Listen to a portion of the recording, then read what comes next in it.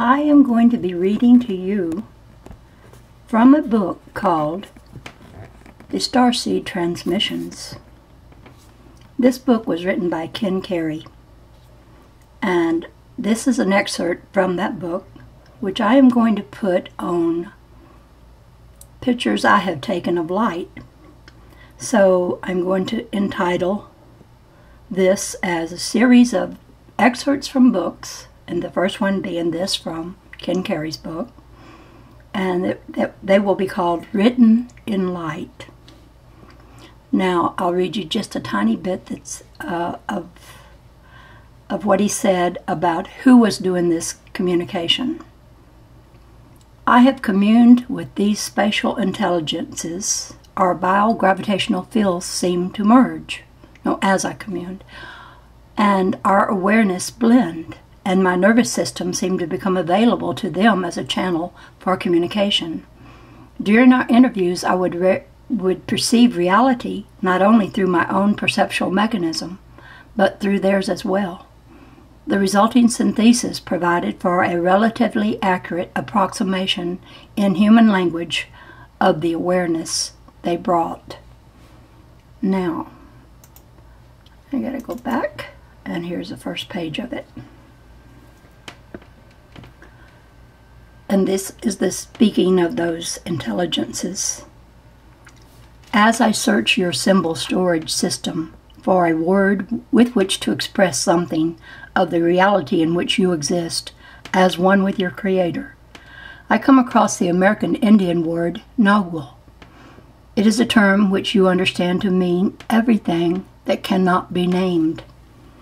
This is a good word for the region of being, the region of unity, I will use this word for a moment to emphasize a point. In the pre-fall state of awareness, you existed in the Nagual, the all, the everything, the nothing, the primal void, where all exist in a state of potential. This is the creator that surrounds creation, like the sea surrounds a fish. Out of this Nagual you are called many times to dwell for the space of a relationship in its opposite, the tonal. The tonal is everything that can be named. It is the imaginary world of God in which all apparent differences exist. It is the playground of what is. The tonal draws all of its sustenance from the Nagual. It cannot exist apart from the Nagual. While the Nagual is a dynamic yet steady state of rest, the tonal or manifest physical universe is continuously flashing on and off. This oscillation occurs in all things manifest, from the smallest subatomic particle to the greatest galaxy. All of us, angels, humans, anything that can be named, are only in form one half of the time. The other half of the time we exist in the totality of being. This totality of being that we have been calling the Nagual has been called God, has also been called God the Father. It is the life of God the Father that animates all creation. It is this reality that all healthy creatures oscillate back and forth to and exist in half the time. In this reality, we do not exist in time or space, for we can name these. They are both features of the manifest universe. From this spaceless, timeless state, we derive all energy, blessing, and nourishment. This always holds true, even for you in the fallen condition. The difference is that in the fallen state, you are not aware of this process, and therefore unable to participate in it consciously. By forfeiting your ability to oscillate in consciousness between the two realities in which you dwell. You are restricted to an awareness of just the tonal, just the material, conceptual world. You still receive your nourishment from the light of the Nagual, but no longer directly, only through animals, plants, and minerals. You are unconscious of being and conscious only of form. How did you lose the ability to shift your awareness from deity to identity, from form to metaform? How did you lose God consciousness? How did you fall into the illusion of separation? I will tell you, it was through a simple lack of faith. It was through a loss of confidence in the absolute perfection of the universal design. This was brought about by the entry of a single factor into your existence fear. The serpent in the garden, the devil in your history. Through a subtle process of reasoning, this being encouraged you to move in a pattern of activity that has come to be called original sin. It was a pattern of activity that you were never designed to move in. With a clever and subtle lie, you were convinced to not exactly stop trusting in God, but to stop trusting exclusively in God. The moment you did this, your consciousness began to shift from God centeredness to self centeredness, and for the first time, you became more aware of your identity in form than of your identity in God. This shift in awareness was minimal at first, but enough to begin what was to become a long spiral downward through denser levels of energy, bond, of energy bondage and restraint. For Satan, your tempter, is the materializing influence which in its right place is responsible for the bonding of energy in the creation of matter. As you begin to focus more and more upon your identity in form, you began thinking in terms of defending that form with unnecessary and cumbersome ego structures. It became harder for you to avoid identifying with your experience you began to carry over past patterns of behavioral response into new relationships. This made you less effective in those relationships because you were no longer fully present, no longer using the fullness of your potential. You are beginning to build up around yourself energized thought structures that imprisoned you.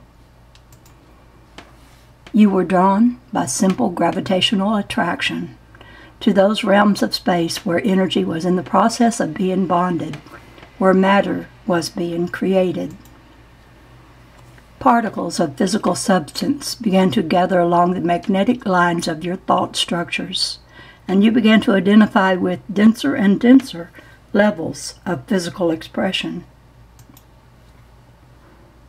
This process went on for a long while before you actually found yourself in any kind of physical garden when you did, you had already fallen a long way from your original state of grace, but you were still functioning on a level of awareness far enough above and beyond your present condition to give rise to all the myths and legends of a physical paradise. The physical Garden of Eden lasted for many centuries on earth time before the momentum of the materializing processes caused you to rely so much upon the physical senses that you became cut off from the direct nourishment of divine light. In reality, you have never been cut off from this nourishment. But as your sense of identity became almost exclusively wedded to your physical bodies, their growing density began demanding more and more of Earth's substance for their support you finally reached a point where you could no longer meet the demands of your physical bodies without work.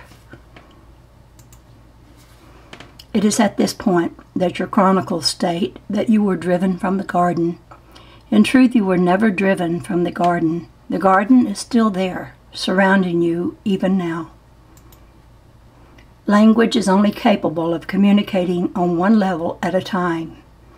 Yet the fall was a simultaneous, multi leveled occurrence.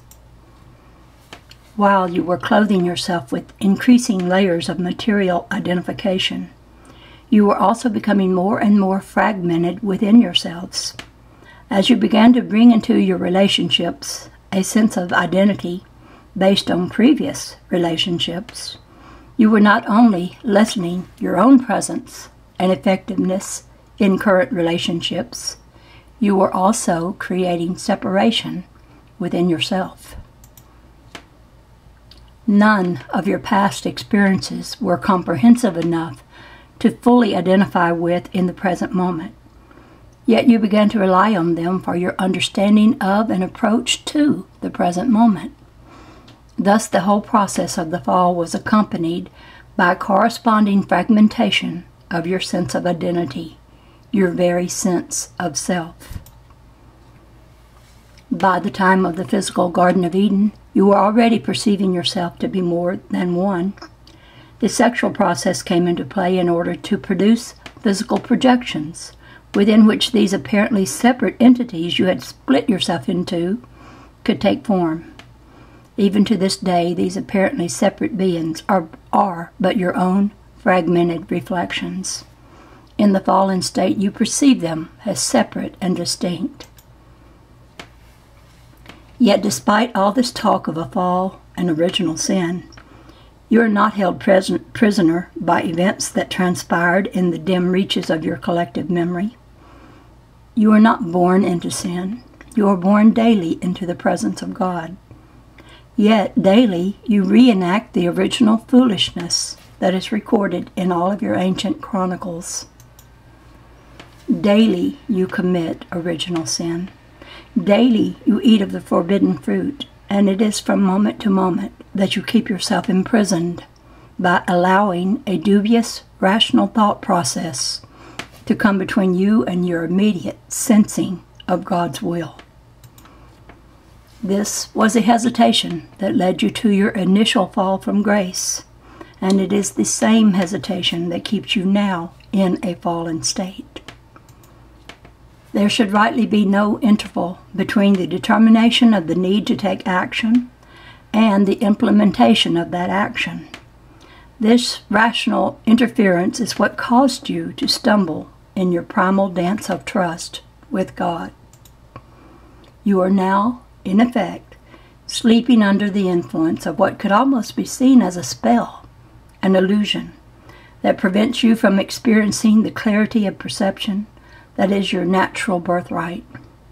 Our mission to this planet is to awaken you from sleep by whatever, by whatever means necessary. And that is all of that I put in this film. But if you want to hear the entire book read, look in the description bar of this video and I will